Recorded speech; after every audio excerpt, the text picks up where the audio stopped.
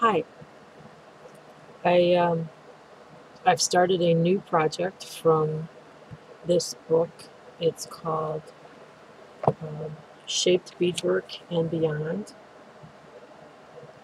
by Diane Fitzgerald, and it it has to do with um, mainly peyote stitch, different you know different types, but it's not the traditional. Um, it's not the traditional shapes, and uh, I've tried it out. Started beading again. Feels pretty good. Um, this is, you know, of course, a star. This was my first one. There's, you know, there's a mistake.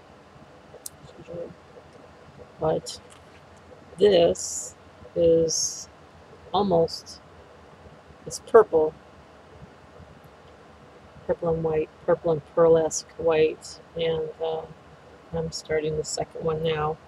I'm thinking of, I was just going to do like a, um, they show a necklace, and uh, they show a necklace, you know, and they're all the same color. And I was thinking of doing that, you know, with the purple and the white. And then I was like, well, what if I used all of them? And then made like blue, and then I have green delicas, and then I have red delica, and I even have orange. I know, I, I even have yellow delica that I could use. You could make like a springish type um, necklace. What do you think, Melissa? I don't know. Anyway, I like it. And the next thing I'm going to do on it, on this book, it's really cool. They're called tamari beads. And it's actually the same thing as this, but it instead of doing a five row triangle, you do a four row, and then it cups really very much, and then you put another, you make five, and then you make another five, and then you put them together, and then you join them, you zip them up like that. So I want to try that. Um, I just I think it's awesome, and then and then the um, yeah they have oh and a chevron pendant. Actually, it looks more like a Star of David than it looks like a chevron, but I see the chevron within the Star of David. I don't I don't know. So that's the beading stuff. Um, went to went to the animal park and had a great time. Absolutely had a great time. Um, was so mesmerized by the um, the camel.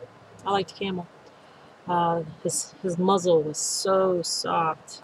It was amazing how soft it was, and um, uh, the BF and my grandson. Um, my grandson, of course, was just over the moon there. He he wants to go again every weekend, and um, this is nice. I'm glad he likes it. Uh, the wagon ride was an hour, and um, they gave you a a pretty good sized bowl of food. Um, you know, like animal pellets that all the animals could eat, and um, they had this Watusi bull, and they had horns coming out of his head. Must have been at least the horns must have been at least three to four feet long, and then you know the width of them. It was they looked rather um, rather odd, but uh, they were pretty cool. Um,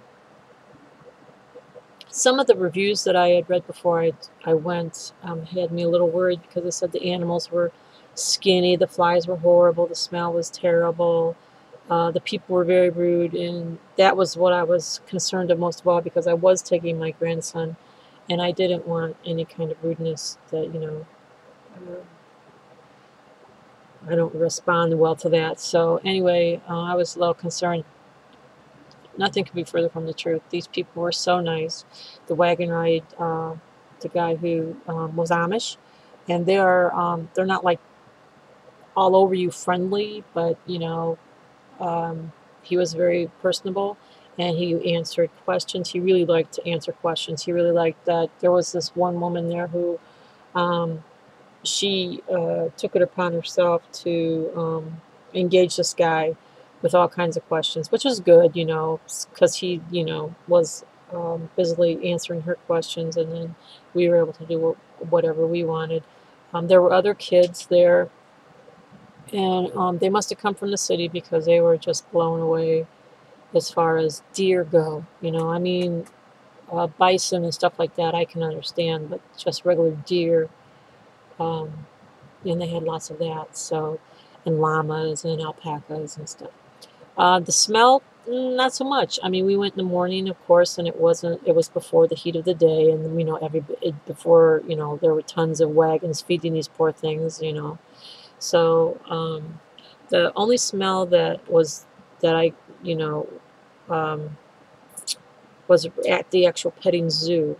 Um, they had um, the petting zoo right as you got off, and they had little ducklings that they could hold and um, pet, and uh, little kids, you know, um, baby goats, and um, there were supposed to be some rabbits somewhere, but we didn't see those, and um, we had seen a baby camel that we thought was dead, but they assured us that it wasn't, it was just sleeping. And um, they had um, potbelly pigs, little baby pot, potbelly piglets, and they wouldn't let us touch those, which is, I'm sort of glad because those were so small, and Lucian was dropping the duckling like nobody's business. Um,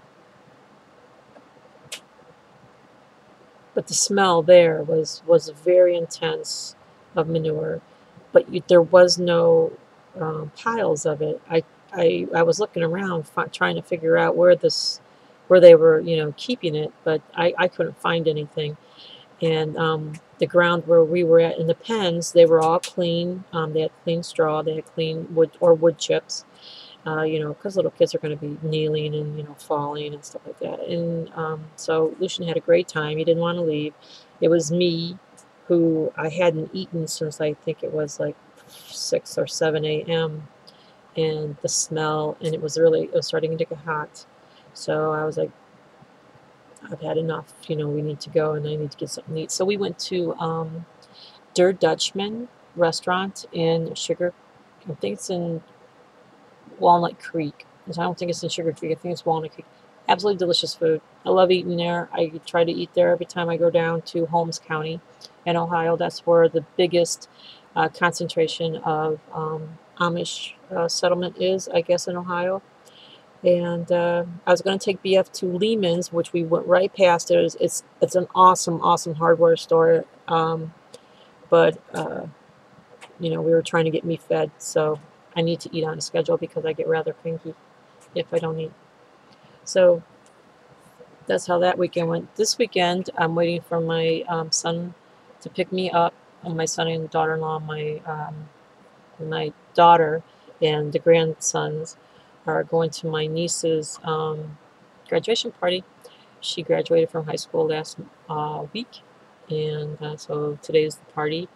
So that's going to be, you know, lots of uh, lots of food. Well, there's going to be food, and um, hopefully a good time. So that's what's on tap for today. Tomorrow is church, and uh, gym stuff, normal normal uh, Sunday stuff. Uh, worked overtime all week this week because my boss was on vacation and I was taking over for him.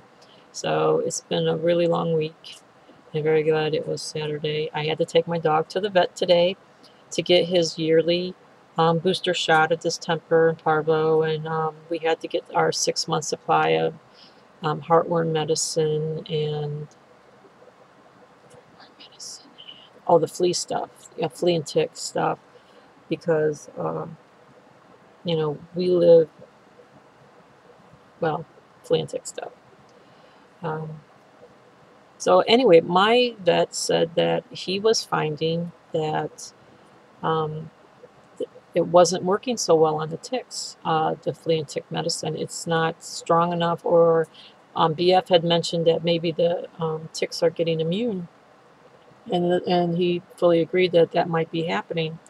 So um, he gave me some stuff in a, a, Taktic, I think he called it Taktic. I'm supposed to put one tablespoon in a gallon of water, and that's a lot of stuff. But anyway, if um, Coco gets a tick on him, I'm to you know uh, put it on a Q-tip, this Taktic solution, put it where by the um, skin where the uh, head of the tick is buried and it, I guess it will back it right back out plus this Taktic stuff was like an uh, it'll antiseptic or something like that. So um, if so, I dosed him now, and he's I think he's he's sleeping. Um, so that's about that. Um, oh, I uh, got a new book from the library. It's about um, Catherine the Great. Catherine the Great, uh, you know, the Tsarina of Russia. She doesn't sound like such a hot person, if you ask me. She sounds like sort of a snot, but uh, there was something that caught my interest there. Um, nothing else much going on. Uh, so um, I see that Stacy's internet is down, so I don't know who would watch.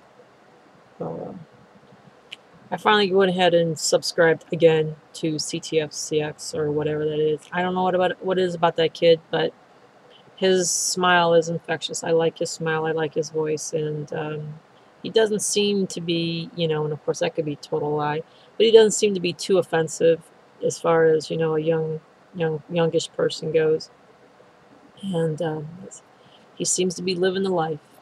So that's about it with the internet stuff. Um, haven't really watched anything. We went and seen um, Godzilla, which I think I said last week. That was a pretty good movie. My sister wants to go see the X-Men movie, but I don't know when that's going to happen. It's like, so I'm not really rushing to see that, you know. It's okay. Anyway, um, that's about it. Oh my gosh, that was like 11 minutes. You have a great weekend.